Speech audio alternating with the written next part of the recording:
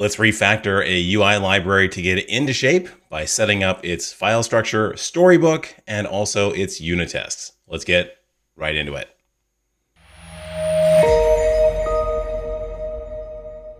Okay, so a couple weeks ago, I did a huge hour long video where we put together a micro front end setup. And as part of that, we created a UI library that exposed this app shell, which is this header section, as well as the nav bar over here. And it was all set up with React Router 6 and it was super cool. But I gotta say, the way that I put together the UI library was eh, kind of janky and half-hearted. And I've been asked over the years, how would I structure a UI library? So I'm to show you how I would do that. And we'll restructure this little UI library and we'll go and add a storybook and also unit tests to it. It's really fun, actually. All right, but before I get started, let me just say this is in a monorepo, but it doesn't just apply to monorepos. You can apply this to just a single repo as you please. It just happens to be in a monorepo. All right, so let's start it out. Okay, so the first thing I'm going to do is I'm going to clone this project over here in MF Router 6, and the link to that is in the description down below. I'm going to copy this, and I'm going to go over, over to my terminal, and I'm going to git clone it. And now I'm going to bring it up in VS Code. Okay, so first thing I need to do is do pnpm i, and that's going to go and install all the packages and get everything all linked up in our monorepo. But before I get there, let's just do a quick overview of what we got. We've got two apps. We got the movies and the playlist app. And we got a whole bunch of packages in here. And the one that we're going to be playing with is the UI package, which at this point just has uh, a package JSON, a TypeScript configuration, and an index.tsx file that contains uh, just the one piece of UI that we're exporting, which is the app shell, which is that header and then the nav bar along the side. So this isn't that great. I admit. I'm sorry. Okay. Anyway, all right. So we've done our our pnpm i. So let's do a pnpm dev just to make sure that everything actually still works out of the box. And this is going to bring up all of those libraries, compile all of those libraries, and then compile our two apps. And if everything goes to plan, we should basically just see exactly the same thing here, which we do. Yay. Okay, cool. We can go to our playlist. We can add items to our playlist. There you go. Doctor Strange in Lost City. Cool. Okay. But we don't really care about any of that. What we're caring about more is this header bar up here, some movies, and the nav bar over here. And that's all implemented with this app shell. Okay. And we really don't honestly care about what the app shell does either, honestly. We just want to go and restructure this library to make it more sane. Okay. So first what we're going to do is we're going to just move around the files a bit. So I'm going to go over and create a source directory, which kind of makes sense. So I'm going to have UI source. And for each component we are going to expose, we're going to have a directory. So I'm going to call this one app shell, as you'd imagine. And I'm going to go take the index.tsx and drop it into app shell. But I don't really think that's actually the right way to do this. What I'm going to do is I'm going to change this to appshell.tsx. So the component is just going to have the name of the component within that directory. And then we're going to have an index file in every one of these directories that is just going to export that component. So I'm going to export star from the app shell. And then over in our new index.tsx that we're going to put at the top level, we are going to export star from source app shell. Okay, so what is creating this little directory here given us? Well, it's given us a place where you can put all kinds of cool assets. We can put a storybook file that has all the stories in it. We can put a unit test file that has all the unit tests in it. We can put a CSS file that has the associated CSS modules. And the great thing about that is if we decide to move any of this stuff around later, if we're going to pick up app shell and move it to another package. Basically, just pick up that one directory and you pretty much have everything that you would need for that component, theoretically. I mean, if it, of course, depended on other things in the same package, then you'd have to kind of rejigger that a little bit. But, you know, it's still, it's a nice way to kind of contain everything. And this is pretty standard. I've definitely seen this in a lot of projects. So, I, you know, it's a little pedantic, I would say, but I think it's fine. Okay, so the next thing we need to do is make sure that that, of course, worked. And it looks like it did. So thumbs up to that. Awesome. Okay, it's cool. So let's get started adding in a storybook. So I'm going to go into Packages UI. And within that, I'm going to do pnpx Storybook init. So this is a nice little handy helper function from Storybook that goes and sets up our project for us. And if you are not a monorepo fan, you will have another reason to say that you're not a monorepo fan coming up here in a second, as it doesn't quite like being inside of a monorepo. It's going to give us a warning about workspaces and actually, unfortunately, not work. But it's going to get us pretty close. It's going to go and set up some stuff, which is great. Yep, and there you have it. So blew up on this workspace thing. But what it did do is it actually created this .storybook inside of here, which has our storybook configuration in it, which is great. It also created a stories directory down here, which has some example stories built into it. What it didn't do is update the package JSON with all of the dependencies. So we need to go and manually add those. So let's go and do that one by one. Okay, the first one I'm going to bring in is Storybook React in development mode. And that's just the basic Storybook mechanism customized to React, so Storybook slash React. And the dash D is for development mode so that we don't bring it in in production mode, which makes sense.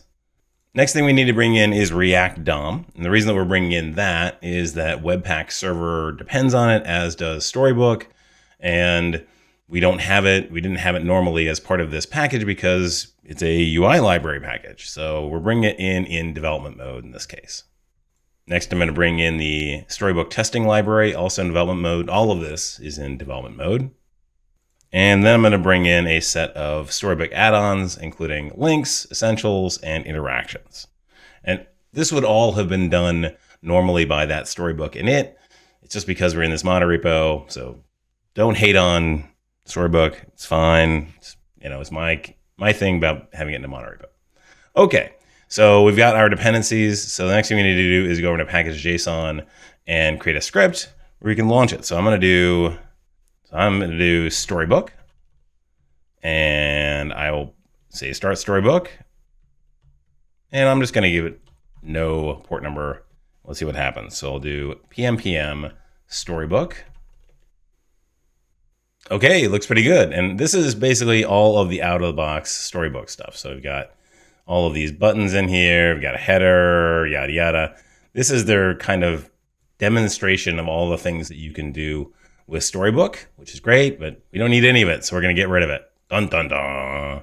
We're going to delete all of those files. And what we're going to do instead is create an app shell .stories.tsx in the same directory as the app shell. So this is going to be our story for the app shell. And why is that going to work? Well, if we go over here to, I think, main, it basically tells us where it's going to source all of those stories, all of the, have all the add-ons and the framework. But anything that says .stories, .jsx, TSX, and MDX, which we'll get to in a bit, is going to be included as one of the stories. So that's why you can have that app shell.stories.tsx and it'll work. Okay, so I'm going to import some stuff. I'm going to import React. I'm going to bring in component story and comp component meta from Storybook React, as well as the app shell from the current directory. So the next thing we need to do is define the component for Storybook, and that's going to use that component meta. So we're going to say that the title here is app shell and that the component is that app shell. And then we need to define a template so this template is what it's going to use to render the app shell in the with the different stories. So it's going to have a component story with the type of app shell, bring in some arguments, and then it's going to give all of those arguments to the app shell. But we're also going to go and give it some required stuff. For example, the routes and the nav links, which are required for this particular component. And then finally, we're going to go and export any stories we want. So in this case, we're going to export the primary story and that all we need to do is just bind the template to that and give it some default arguments. So in this case, my app would be the title that we want. So let's hit save here and see what we get over in our storybook. All right, so now I've got app shell over here. You hit primary and ah, check that out. I, it's even got some togglers for light and dark mode. Click on those. And we really didn't have to do any of that, right? So that how cool is that? That is really nice. One thing is a little bit irksome is that there's a little bit of padding in here and that would be normally be fine. But I think when you're showing off like a, a container like this, what you really want is you want to just you know take up the entire frame. So let's go and get that going. So to make that change, I would go over into my configuration for Storybook in preview.js, which has our parameters. And I'm just going to set the layout to full screen. So it's save. And let's see. Yep. There you go. Now it's gotten rid of that padding. And now our canvas stories take up the full frame. Okay, so the next thing we're going to do is we're going to go and bring in Jest. And that's going to give us the ability to unit test our components. And then we're going to add another component and show you how to do stories slightly differently and test that one. So we're basically going to do this all over again, just to give you some sense of confidence as to how to do this. But before we do that, let me just go and add to the repository our current state. So I'm going to say that we've added Storybook. And that will give us a nice fallback if things mess up. And of course, in the meantime, if you're liking this video, hit that like button. If you're really liking the video, hit that subscribe button. Okay, so let us bring in everything we need for Jest. So we're going to bring in Jest, as well as TS Jest, which makes it easy to do TypeScript-based tests, as well as Types Jest. So that gives us all the types for things like it and describes and all that, as well as the testing library for React. That's going to give us a nice way to be able to kind of look at the components once they're rendered and render them. And then also the Jest environment for the JS DOM, which you need when you're going to do DOM based testing, which is what we're going to do here because we're doing React components. We're doing like node stuff that's already built in, I think, and you just have the Jest test environment of node. And now we're going to set up the TypeScript configuration by doing a npx with ts jest and say that we want to initialize the configuration. This is just a handy little helper that sets up the jest config file over here and sets up the preset with the ts jest. But we also want to go and change that to JS DOM because we're doing UI testing. Okay, so next thing we need to do is over in here in package.json, we create like a test. So we'll say that we want a test, and to implement our test, we will call Jest. Test with Jest, yay. All right, so let's go make our first test. So we'll go here, create a new file, call it appshell.spec.tsx. And into there, I'm going to bring in render from the testing library for React and also our handy dandy app shell. And now we're going to describe, say app shell, I guess. That's fine. And we need to give it a function. And we'll say it renders. Okay, cool. So now we're going to render an app shell. But I'm not going to use a snapshot test for this. I'm not a huge fan of snapshot tests. And we need to add some parameters here for our app shell. So I'm just going to set the nav links to an empty array. I'm going to set the routes to, eh, we'll give it a route in here. So we'll say that we want a home route. And then we want the element to say something like div hello, cool. And finally, we need a title. And that should be something like foo. So the output of this is actually really cool. So we picked container here, but you don't have to do that. So I'm going to go and take a look at all of the stuff that comes out of here. We can do all kinds of find buys. and the one that I want is query all text, all by text. So I'm going to expect that if we query all by text foo, it will be, yeah, it'll have a length of one. That actually, that's that's fine. That's cool. Uh, but I'm going to start off with foobar here and we're to try it out. All right, now let's give it a try with our pnpm test. All right, looks like we have one failure. Let's go take a look. And we can see that we expected to have a length of one. What we got back was a length of zero. And where did we get that? Well, we looked for foobar and we expected to have one and we got zero. So let's take a look. So we were looking for foobar when in fact the title is foo. So let's change that to foo instead of foobar. And let's run it. And there we go. It passed. So we can also look for this hello over here because the slash path is going to be the one that is rendered by default. So let's check for that as well. So let's see. And we'll do something different here. We'll say to be truthy. All right. Now let's run it. And the test still passes. Awesome. Cool. All right, so let's do this one more time. We'll go and create another component. So I'll show you how to get started and go all the way through it. So I'm gonna go and close this out and we will create a component called a product card. So I will go and create a new folder here called product card inside of source. And then we'll start off with the implementation of the product card itself. So I'll do product card .tsx. And into that, I'm going to bring some Mantine stuff. I'll bring in card, title, button, text group, and paper, and that'll help us make our product card. And then I'll bring in React so that we can specify it as a React functional component. And we'll do that down here. We'll say product card is a React functional component. Awesome. And it's going to take a title and a description.